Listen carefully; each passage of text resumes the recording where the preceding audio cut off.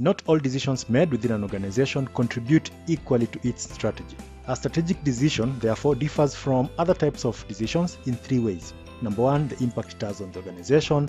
Number two, the timescale. And number three, commitment, both in terms of human resources and material resources.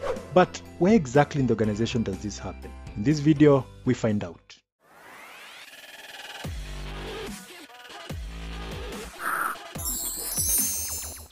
Hey guys, I'm Moses and welcome to Zerite Network. This video looks to answer this question. Explain each of the following strategic management terms, highlighting the key features that differentiate them.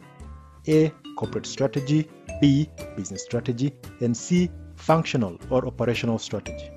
As organizations grow, the level at which strategic decisions are taken can multiply. It is common to categorize the levels of strategy into three that is, corporate strategy, business strategy, and well, functional or operational strategy. Let's start with functional strategy or operational strategy. These are strategic decisions that affect the organization's value chain, okay? They don't have a great magnitude and are likely to be short term. Let's say you start your own business, dealing in okay, I have no clue which business you want to start. Maybe you can you can share that in the comment section. But for the sake of this video, let's say it's a marketing agency. So at this point, you are everything in that business. You are the CEO, the janitor, the marketing guy, the receptionist. The point is, you make all the decisions that come with, uh, with that organization, or pretty much with the said role. However, as the number of clients increase, things start to get out of hand, and so you will need people to play those roles. All these people will be working in functional departments, okay? And for them, the strategic decisions they will make will be functional ones. And so functional or operational strategy have to deal with the day-to-day operation or functionality of the business. Now let's talk about business level strategy. These strategies relate to choosing which user an organization should serve and which service it should offer them. It also relates to obtaining inputs through an effective supply chain and then utilizing the organization's resources within a value chain that delivers those services effectively and reasonable efficiency. Business level strategy will also deal with developing a setup that enables information to flow into, out of, and around the organization to allow the value chain to function effectively and the organization to learn and adapt.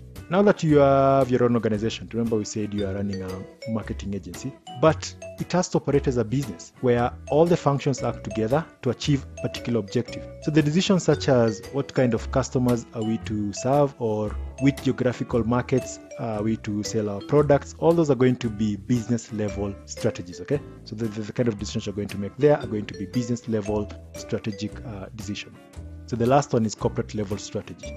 As time goes by, businesses often diversify into different areas. You can imagine Google's move to acquire YouTube or Facebook buying Instagram or BMW buying Rolls Royce. Okay, in this case, or rather in the case of your business, or better yet, in the case of your hypothetical marketing agency, maybe you develop a new product or you move into a number of different geographical areas each of which may have the need for a slight different type of management. Clearly, some of these businesses may be different, leading management into coming up with decisions about how these businesses will work together, how many and what sort of businesses should we even have in our portfolio.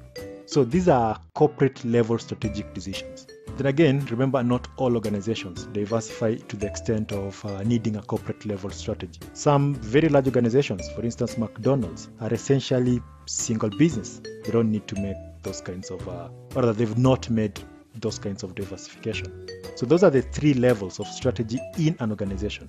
But as a bonus to this lesson, okay, because you know Zerite Network is all about learning and not just passing exams, let's briefly talk about what makes a good strategy. The kind of strategy chosen will depend on the organization's stakeholders' objectives. Okay, so three tests can be applied when looking for a good strategy. These are number one, whether they fit the environment in which the organization finds itself so that they correspond to survival factors in that environment.